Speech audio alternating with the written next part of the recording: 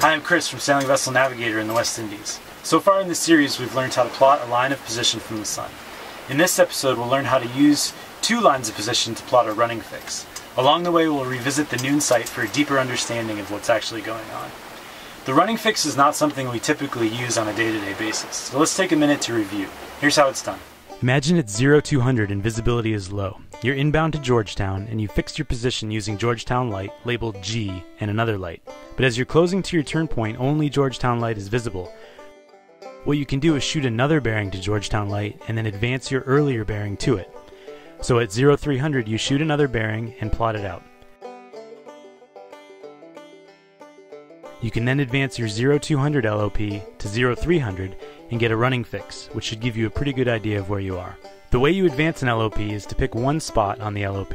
I prefer something out of the way and I like to draw a little circle. Now advance that circle in the direction and distance that you've run in the time elapsed. In this example we've run 1 hour at 4 knots on a course of 180 degrees true. So we need to advance our LOP 4 miles in the direction of 180. We measure off 4 miles and 180 degrees and draw a new circle. I like to make little hash marks showing the advancement of the LOP. Now we parallel the first LOP to the time of the second and draw it.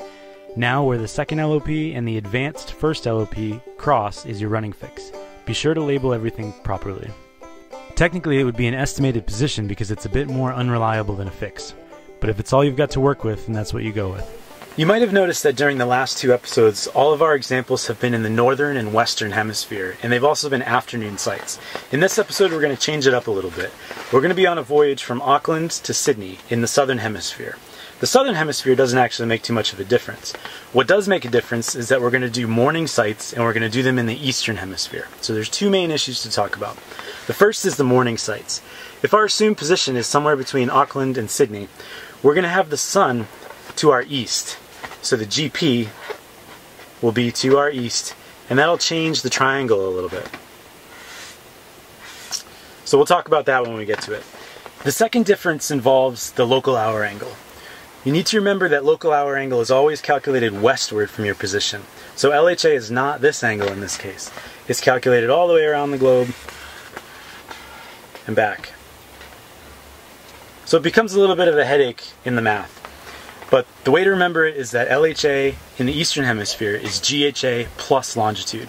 An easy way to remember it is that there's many more people living in the eastern hemisphere than the western. So eastern is plus, western is minus.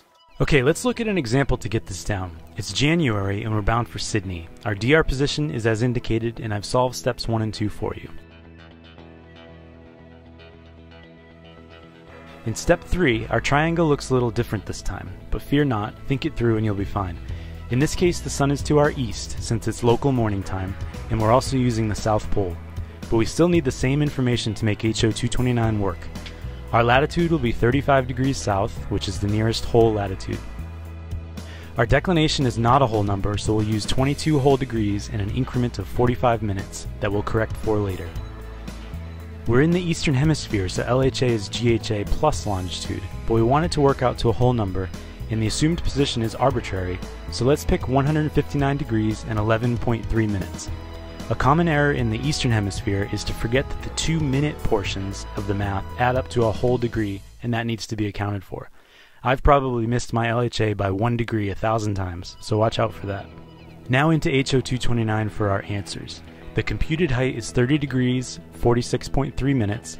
Our D number, which will help us account for our declination increments, is plus 28.6, and our azimuth angle, or the bearing to the sun, is 83.4 degrees.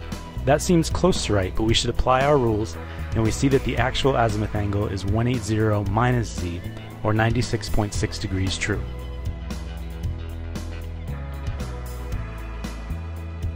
So to account for the leftover declination increments, we could use that crazy interpolation table in the front of HO229, but this is a time where I think the math is easier. Think about it, the table accounts for portions of declination left over, so it's always something between 0 and 60 minutes hanging out there, and the way the table works is by comparing ratios. So if we took the declination increments, divided it by 60, that allows us to express the declination increments as a percentage or a ratio, and then if we multiply it by the d number, we'll get our answer.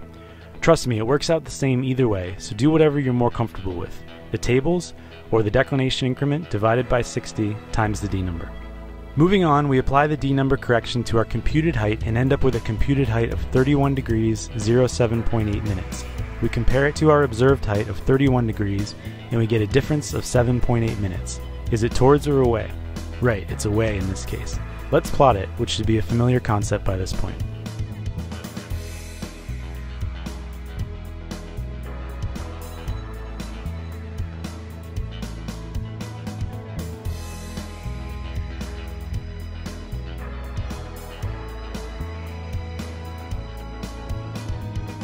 So we've gotten pretty good at getting an LOP from the sun at any time of day. Let's let a couple of hours go by while we steer course 270 degrees true at a speed of 10 knots and the sun gets higher in the sky. Eventually we'll notice it's directly to our north or on our meridian. We know that we can determine our latitude at local noon, so we shoot the sun and after correcting the sextant we get an observed height of 77 degrees and 30 minutes. We quickly determine our zenith distance, which is 90 degrees minus the sextant height, to be 12 degrees 30 minutes, and we look up the declination of the sun in the nautical almanac, and that turns out to be 22 degrees 45 decimal 5 minutes south.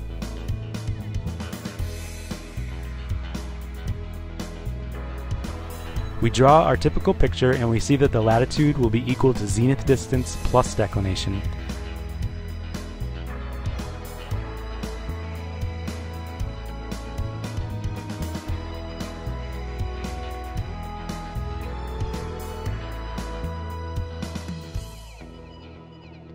and the math gives us an answer of 35 degrees and 15.5 minutes south for latitude.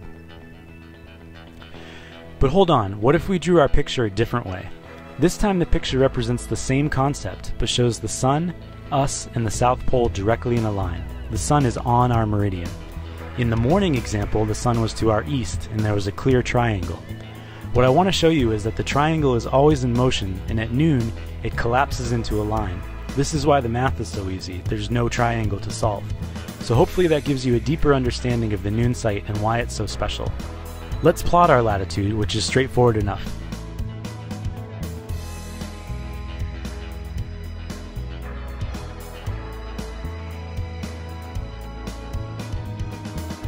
Now it's time to advance the morning sunline to the time of the noon sight and fix our position, being careful to label everything properly.